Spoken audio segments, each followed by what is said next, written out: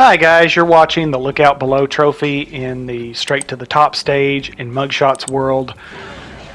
This little trick here I found while playing around in the level a little bit. You can get him to hop on that tire, he can grab the corner of that building and pull himself, jump over the fence, save you from having to neon climb the first part of that sign to access this roof. Now, you will have to use that neon sign to access that tower, uh, to get to the taller roofs. So sorry, no loophole for that. it might that little trick though might help you with the master sprint run for this level. Uh, I haven't played around with that yet, but I noticed some videos for this trophy were 45 to 55 seconds long, but they were just showing where in the level the cars were located, and that was it. And problem with doing it that way is that it doesn't really tell you where in the level the cars are located because you need five of them for this trophy to pop.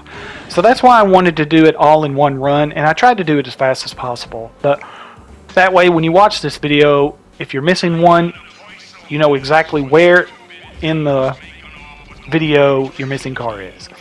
And I've started a bottle collecting guide for this game. It will, the playlist will be in the description section of this video.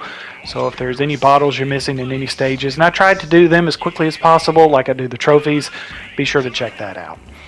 This is a great game. I've loved it since I was uh, younger. Uh, if you know somebody looking for a great game like this, recommend it, and I'll see you next time.